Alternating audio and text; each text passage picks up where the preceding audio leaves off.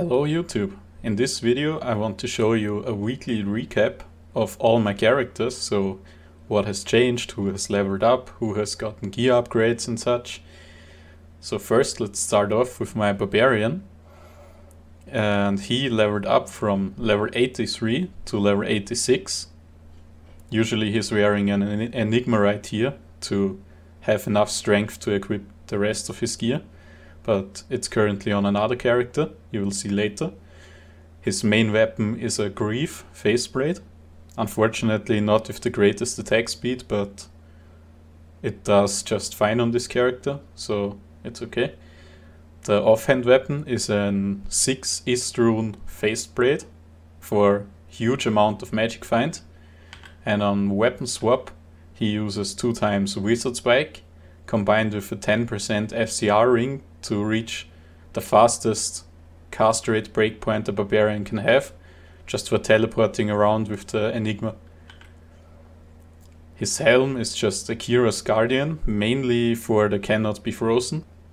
He can't use a Raven Frost because of the cold damage, because sometimes the corpses of your enemies will shatter and then you can't find item them, so you kind of have to go all without cold damage. And for the amulet I use a Highlord's, just have increased increased attack speed, one two skills and such. It's a re really good amulet for melee characters. Gloves are just chances for magic find and boots are Wardraths also for magic find. And for the belt I use a Verdungo's with 14% DR, which is also nice to just get hit a little bit less. And for the charms, I mostly use random magic find, small charms, and some attack rating in life and attack rating in strength, and a Gheed's. And also to hit the hit recovery breakpoint, I use this uh, large charm, and this one is also just attack rating in life. And I recently got this okay-ish Barb Torch just to boost his skills a little bit, make Warcries last longer and stuff. And here you can see my Sorc. She is still Blizzard Sorc. The spec hasn't changed since I made the last video on her.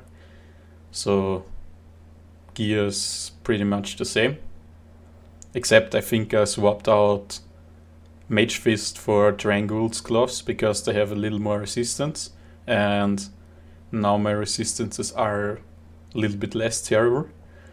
And I gave most of the magic find charms to the barbarian, so she's running with 432% magic find on on swap. I have 550 because of the 2 Ist Blade of Ali Baba. Still need to collect 2 more Ist runes to make a 4 Ist Monarch shield to get her up to about 630 or something like that. And she just uses a bunch of random charms to... This one is to be able to equip the Ali Baba blade. On the next level up I need to put 5 more into dexterity, but I don't want to use a reskill token just for that, so I use this. And she basically uses all the verse magic find charms that I have the good ones are in the barb, the bad ones are here. And on my last uh, on my last torch run, on my last Uber run, which you will see in the next video, I got a few new torches, unfortunately not a sor sorceress torch.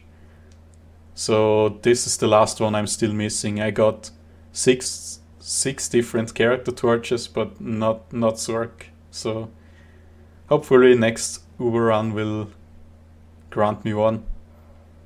So next off is my assassin. She is skilled to be a trap sin.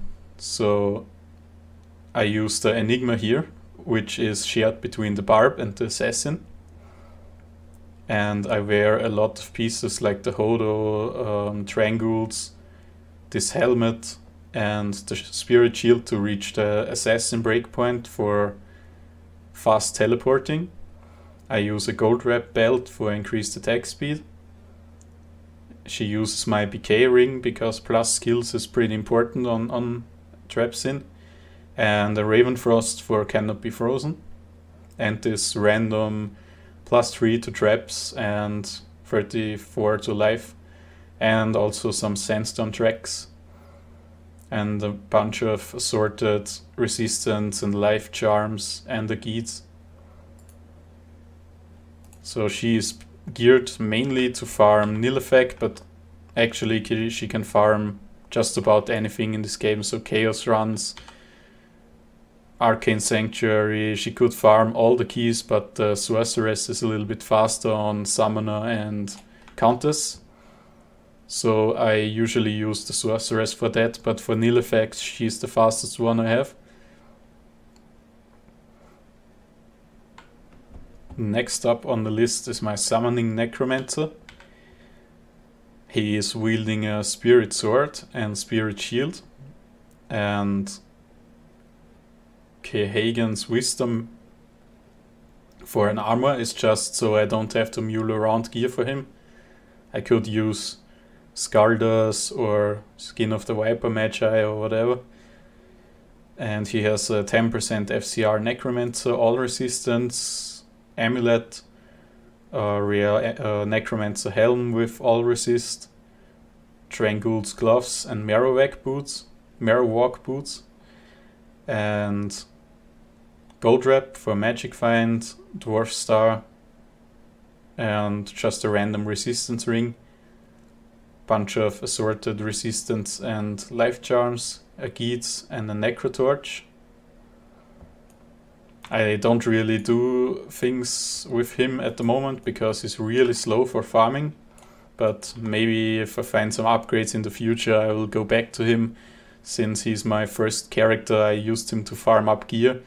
And once I had a few things, I created the sorceress and then basically farmed on her.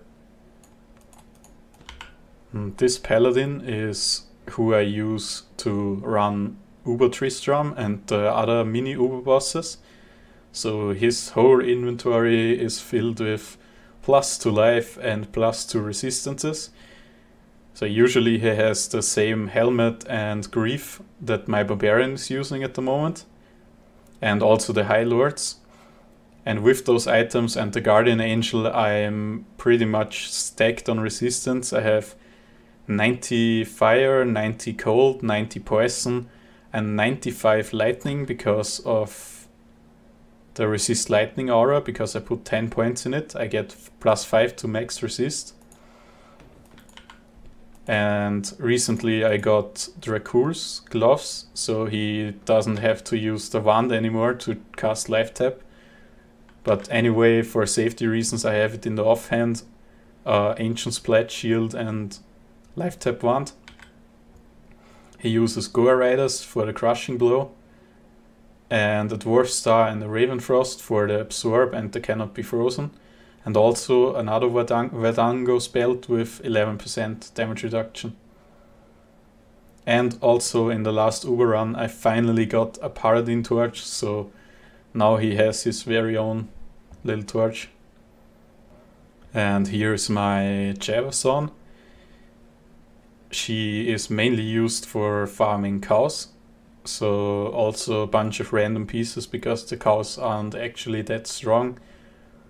Um, 220 rare Javazon gloves, random all resist ring with a little bit of magic find, uh, Thundergod's Vigor for a little bit of lightning absorb and plus two lightning fury lightning strike, and a Ravenfrost for cannot be frozen random resistance boots, uh, Hagens for also so I don't have to uh, mule my armor around, a Valkyrie wing helmet, and a spirit shield, and the Eye of Etlich as an amulet, and a bunch of random life charms, and also my 1719 Amazon torch, and a faster runbook charm, and the Gheed's.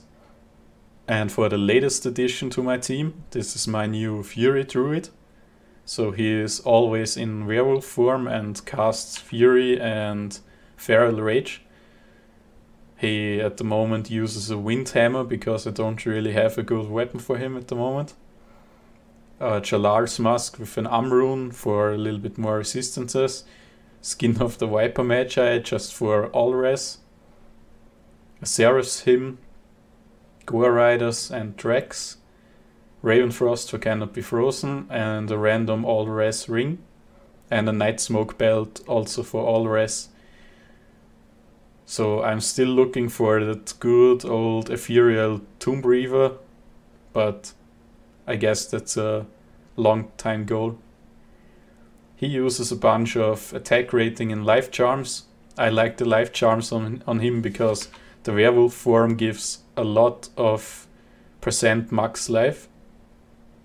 And since I don't have a call to arms yet, I get to about 2.5k HP with the oak sage.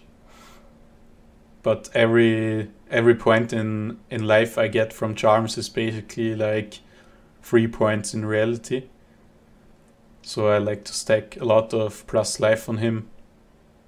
And also he has a somewhat decent druid torch.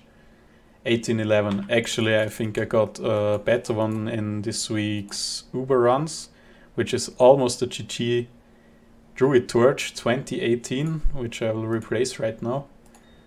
So he is good on torches at least.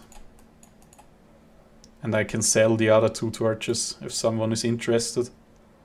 1813 Assassin Torch and I also I think I have another Assassin Torch somewhere. And an 1811 Druid Torch. Alright, that's it for the weekly character recap. I hope you guys enjoyed the video and stay tuned for next week's updates.